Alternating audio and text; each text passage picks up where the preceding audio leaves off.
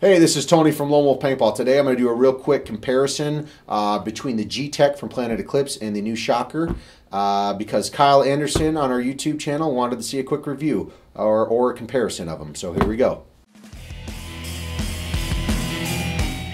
First off, I'm going to grab the Shocker RSX.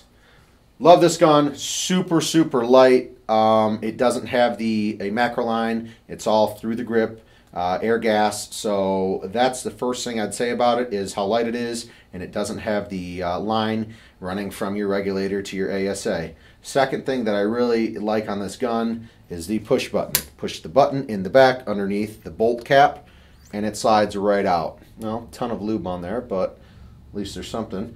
Um, that's a great feature on this gun. Super easy to maintain and access. Literally a simple just push the button, bolt slides right out the back. Um, other than that, it comes with stock with the OLED board, uh, which is a great feature, super easy to program. And lastly, I like the way the gun holds. It shoots very, very smooth. Uh, it's pretty quiet. Um, not the quietest gun on the market, I would say, but I mean, it does shoot very well. Screw a tank on there real quick for you. Turn it on. I can do a couple shots so you can probably hear through the audio and how quiet this is.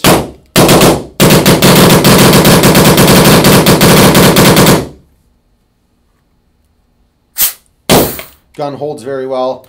I like the way the ASA degasses. Some guns that have the on-off ASAs aren't as easy to degas. So that was the Shocker RSX. This price point's at 800 bucks compared to where are we at? Planet Eclipse Gtek up here. Um, for 550, this is a heck of a gun. First thing you notice compared to the Shocker is you have the macro line from the regulator to the ASA. Um, also, a lot of this gun is composite. It's not all metal like the Shocker. So it does have the same reg as the Etek 5, the same grip frame as the Etek 5, uh, same exact ASA as the Etek 5. But once again, you're not spending 800, you're only spending 550. Bolt access, super simple, um, up and out.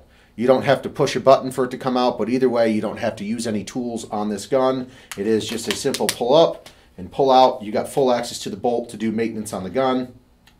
I can throw an air tank on here real quick so you can see how loud this one is compared to the Shocker since you wanted to see a comparison video.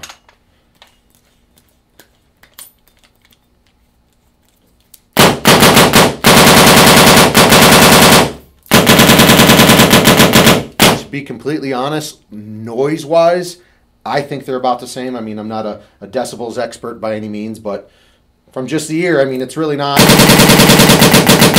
really not that loud. I would, uh, it's a toss-up, even because this gun's cheaper performance-wise. To be honest, it's going to be who's the better player out there. So uh, if you can afford it, I would say go with the Shocker because it's all metal, doesn't have any composite parts. But by any means, I am not knocking the Planet Eclipse Gtek. It's a great gun at $550. Um, it's a heck of a deal, and I think the Planet Eclipse really did a great job with the gun. So um, it's a tough decision. My conclusion, if you got the extra money, get the Shocker. If you're tight on money and have a tight paintball budget, you are not going to go wrong with this Gtek. You will not be uh, dissatisfied by any means, man. Um, thanks for commenting in the video. Uh, for you future guys, give the video a like. Uh, subscribe to the channel. Thanks for watching. And both guns are available on the website. Both guns are unavailable. Uh, are available on our website or in store. Feel free to call here and uh, you know talk to us about it if you'd like. Thanks.